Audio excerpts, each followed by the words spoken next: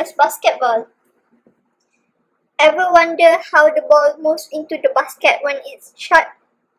I can tell you how it works. It can be explained through projectile motion. As the ball flies through the air in the curving path, there are two main components of velocity affecting the ball.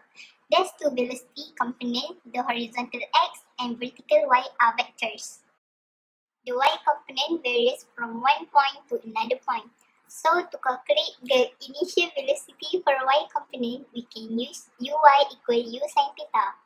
Meanwhile, to calculate initial velocity for x component, we can use ux equal u cos theta. When the ball is at its highest point, it will reach the maximum height. So the Vy component will be zero. Thus, through projectile motion, Ali is able to score his goals. When the ball starts to come back down to the ground, the Sy is in the opposite direction and the Sx or the range is still the same. Thus, only Sy will be negative.